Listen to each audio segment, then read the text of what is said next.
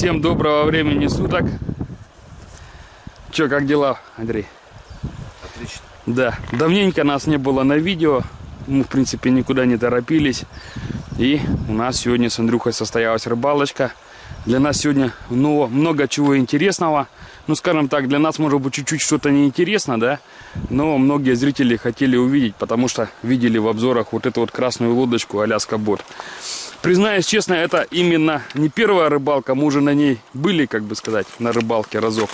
Ну, тогда были по всем чуть-чуть другим целям, от этого не было времени снимать это все. Ну, видео чуть-чуть вышло с запозданием, но оно выходит. На этой лодочке мы уже полностью продвигались, обкатали ее. Вот, еще раз показываю вам, как она выглядит. Вот этот бренд Аляска Ботс. И мы тоже сначала ну, Андрей, скажи свои ощущения первоначально, когда ты ее увидел. Я сказал, что я не поеду. Не пойду. Да, Андрюха Не сказал, пойду. Андрюха сказал, я, говорит, с тобой больше не пойду на рыбалку в эту, лод- в эту лодку, говорит, не сяду. Ну, а по итогу скажи, как тебе? Шок не только для меня, так для многих. Ну, считай, троих на рядане, Да. троих. Один такой же, как и ты, примерно, под сотку. Я еще там груза килограмм 40. Я не знаю, слышно, нет, Андрюха просто говорит тихо. И мотор, считай, двадцатка, четырехтактник. Водомет. Да, да, да. Троих на рядан и, пожалуйста. Мы начали, когда, мы когда начали двигаться, мы просто офигели, блин. Надо было тогда Да. это снять, когда трое, чтобы кто-то заснял.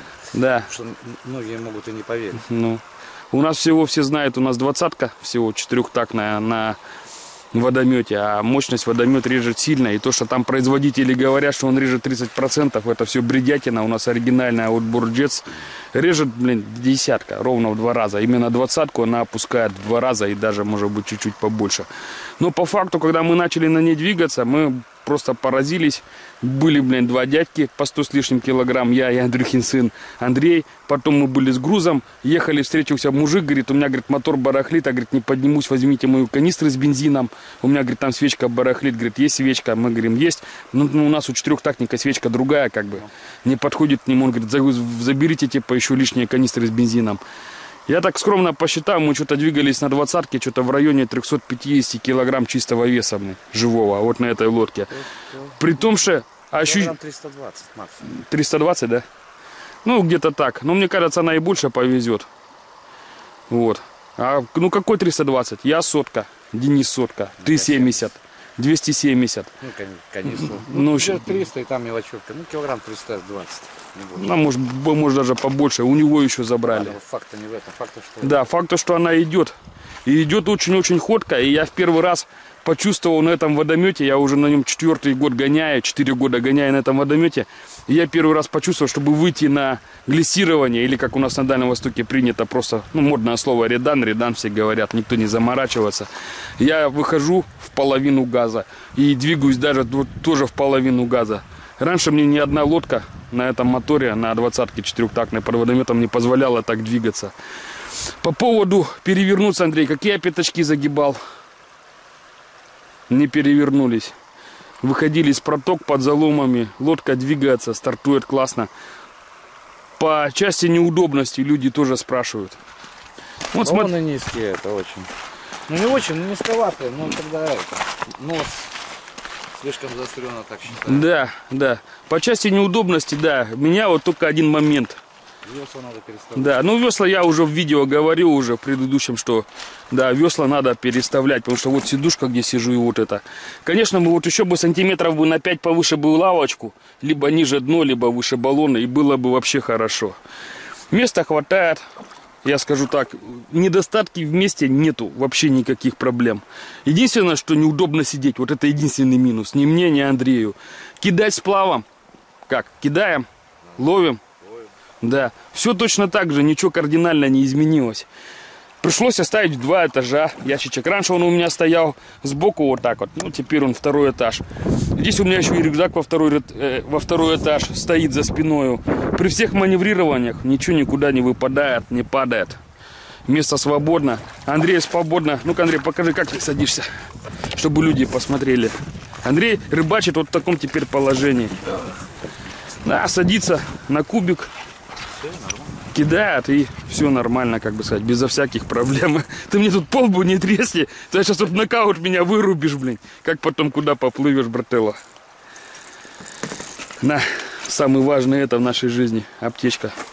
Ну, она всегда должна быть под рукой. На всякий случай. Да. По факту, что могу сказать, накачивать баллоны пришлось 0,25, потому что 0,2 реально слабовато. Видно, производитель перестраховался.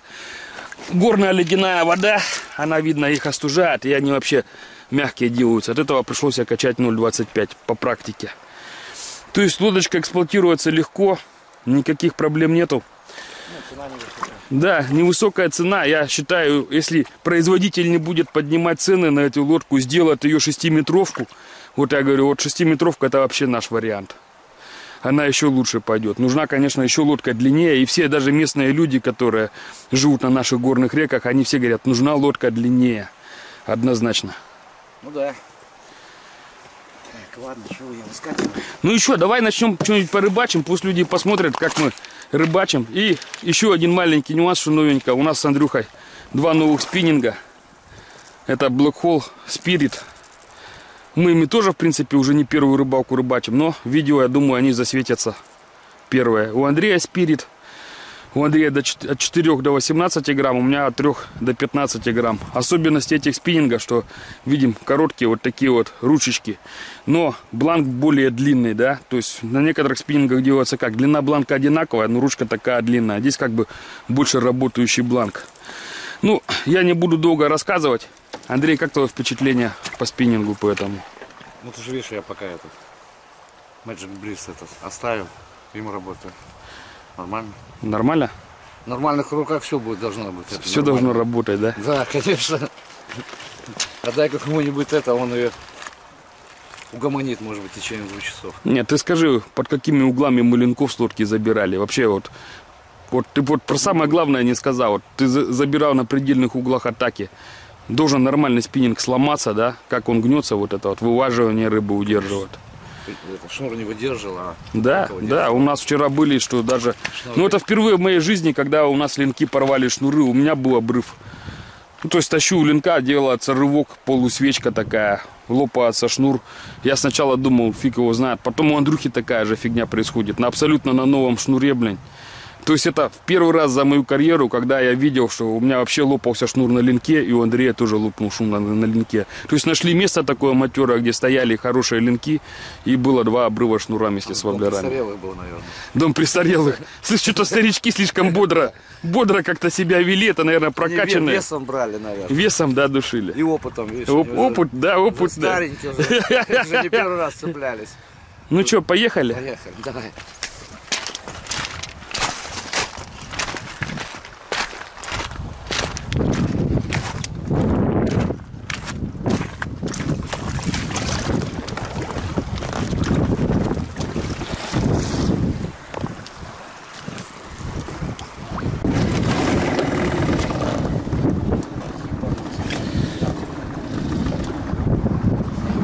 Блядь, я не живая это. Я видел, как у него весло упало. Заключил. Вот показываю, как в половину газа выходит лодка на глиссирование. Вот пол газа. Ну все, уже вышли. Вот видите, уже бьет струя. На половине газа мы вышли на глиссирование.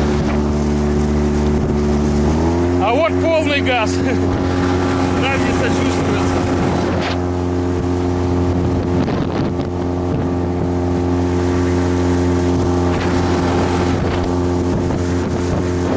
Также сижу на вот тоже на баллоне. Рыбачить садится на кубатейнер.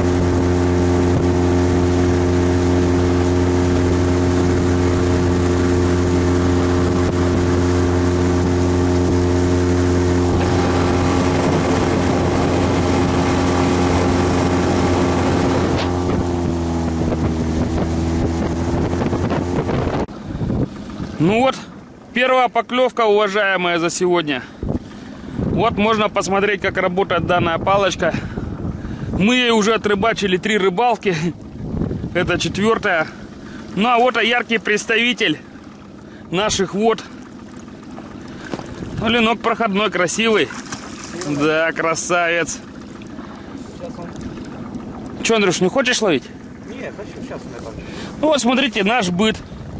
Вот так мы сидим, так кидаем, достаточно удобно все. Езжу нами еще полная секция свободная. Ну, давайте займемся леночком.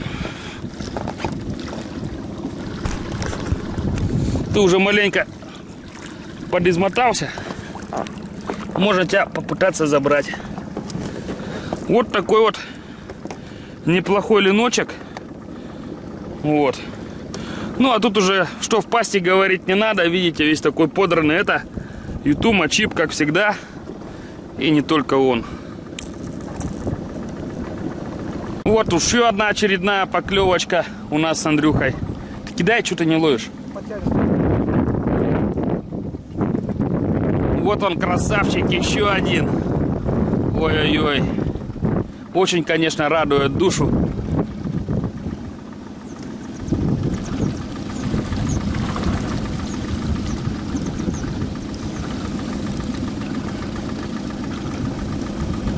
Ой-ой-ой, хороший, хороший.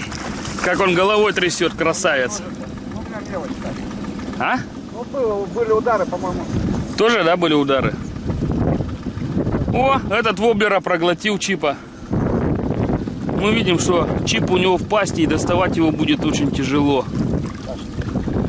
Поплыли к косе, будем реанимировать. У него аж поперек в пасти застрял. Сейчас так на ходу так не вынять.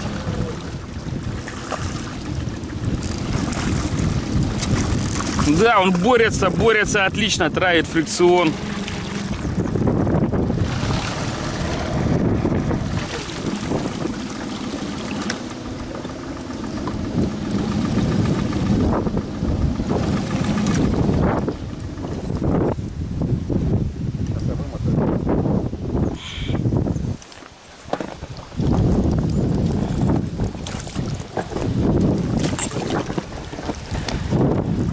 Будем доставать красавца.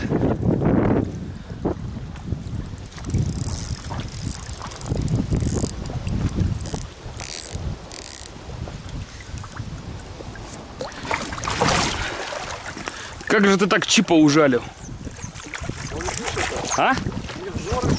Жор идет, да? Потому что мы буквально только начали рыбачить, поклевка одна за другой идет. То, что активные, а по И тоже такой хороший. Активно жадные, так. Актива жадная, да? Не сглазь, а то первые пойманные рыбы с первых трех забросов, ты знаешь, можно потом больше ничего не поймать. Ну, не поймаем, как не поймаем. Вчера удовольствие получили, сколько ловили. Вот это да. О, видал? Он вообще от жадности подавился. От жадности точно не умрет. От скромности, да? Ну да. Главное, лучше вовремя его бросить, блин. Да, конечно, ты ставишь, ты покажешь. Ну, он, он, конечно, это, Он сильный, я боюсь, си- сильный-сильный, да. Если он уйдет, чуть-чуть пускай живет. Он уже жить не будет. А Он уже жить не будет, куда тут ему жить? Во-вторых, это, воблер жалко. В единственном экземпляре остался, да? Да. Мы всех чипов уже вырвал там практически ему все жабры, блин. Чип остался у нас, Андрюха, в единственном экземпляре. Вот он, Беречь. да. Весь такой Не размениваться покоцанный. На, на всяких, на всяких там леночков. Вот еще одна поклевочка оленярки. Леночка. Ох ты, какой красавчик.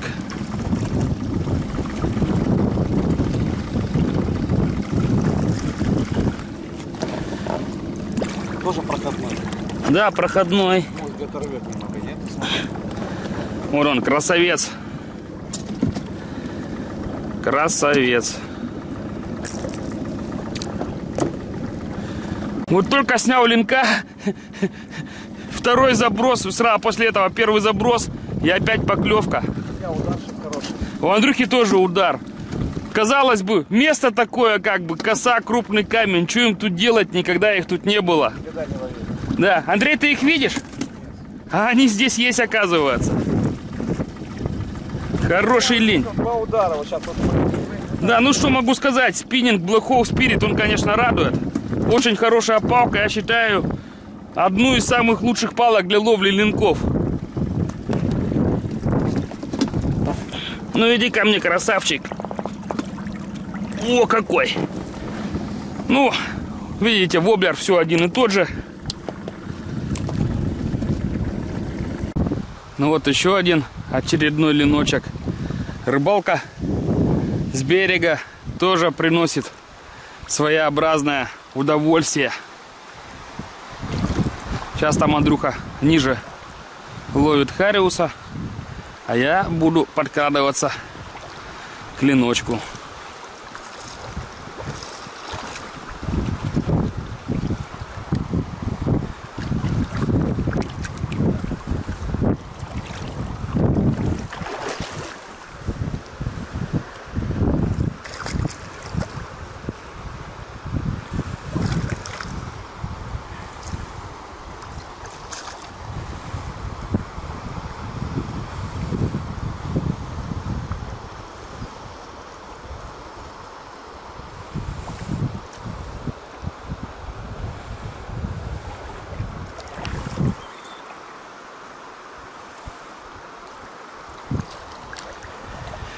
Ну давай, будем сниматься, кто у нас небольшой. Ленок.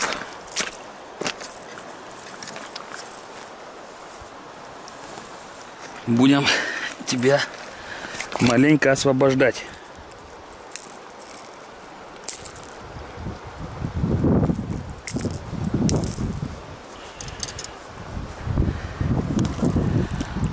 Ну что, красавчик, беги. Пока-пока. Давай на свое место, где был. Зачетно, да? Андрюха показывает, каких он там харизов ловил. На самой быстрине. Ну, хороший хариус, ну. Сейчас мы с Андреем приехали еще в одно интересное место. Такое вот. Тут главное сразу же берегу не подходить. Начинай, Андрюха, наверное, от заломчика. Да. Если там пройду, я туда прям пойду. Да, здесь тоже может быть что-то такое интересное. Мы вчера вечером сюда заскакивали. Я смотрел. Тут стояли и хорошо. Сейчас просто рябь такая, но в поляризационных очках я все равно еще кое-что вижу. Когда гладь, нету ветра. Видно, как стоят хорошие большие линки. Линяры, да, да, да, да. Мы сначала думали, что это коряги на дне такие стоят. Андрюха говорит, много зацепов. Когда я подошел поближе, эти зацепы начали оживать и отходить. Оказалось, что это были не зацепы, это были линки. Вот. Ну, не знаю, получится ли у меня сегодня здесь их соблазнить на поклевку. Клев, конечно, подуменьшил. Опа, вот он идет. Опа, вот, вот, вот, вот. Андрей, зацеп пожил, слышь? Вот, зацеп пожил, да. Вот, да, жалко, что на камере нету поляризационной линзы. Сейчас вышел такой зацеп килограмма на 2, на 3. Я все-таки думал, он уже вот все уже, начал уже брать. Я даже чуть-чуть чувствовал его накатывание на воблер. Но он не взял и ушел обратно, да. То есть вот он выскочил. Да, вот он. Очень-очень интересно это видеть, когда это все происходит визуально, вживую.